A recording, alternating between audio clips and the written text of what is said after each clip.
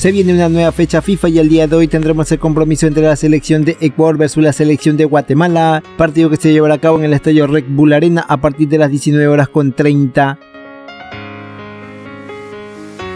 La selección ecuatoriana tendrá su primer compromiso preparatorio de cara a lo que será la Copa América 2024, que arrancará en el mes de junio. Si bien la tricolor integra el grupo B junto a la selección de México, Venezuela y la selección de Jamaica, si bien para estos compromisos amistosos el director técnico Félix Sánchez Vaz convocó un total de 26 jugadores, lamentablemente tendrá la ausencia de Ener Valencia y Oscar Zambrano. El jugador de Liga Deportiva Universitaria de Quito fue desafectado de la tricolor debido a un antidopaje, en tanto que Ener Valencia sufrió un trauma en su último compromiso con su club internacional. El director técnico Félix Sánchez Vaz debe buscar ya un 11 titular para los compromisos de Copa América y las eliminatorias sudamericanas, por lo que estos compromisos le servirán de mucho para ir adaptando su 11 titular.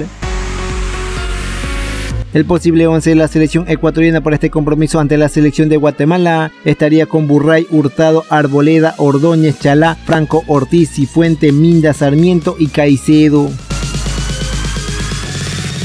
Y bien amigos, ¿quién crees que logra la victoria el día de hoy? ¿Será la selección de Ecuador o será la selección de Guatemala? Coméntamelo en la caja de comentarios. Y bien amigos, si te gustó este video no te olvides suscribirte al canal y compartir el video. Y bien conmigo será hasta una próxima ocasión. Nos vemos.